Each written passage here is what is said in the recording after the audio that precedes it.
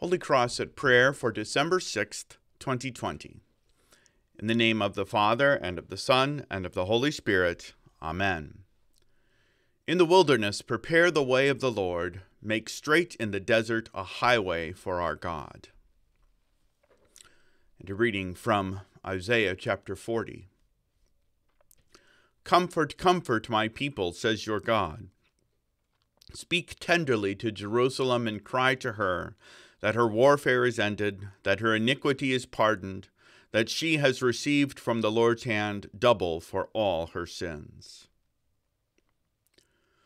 Lo, how a rose ere blooming from tender stem hath sprung, Jesse's lineage coming, as prophets long have sung. It came a floweret bright amid the cold of winter, when half spent was the night. Let us pray. Let your grace be upon Don, O Lord, and teach him to hope in the resurrection of the dead and the life of the world to come, through Jesus Christ our Lord. Amen.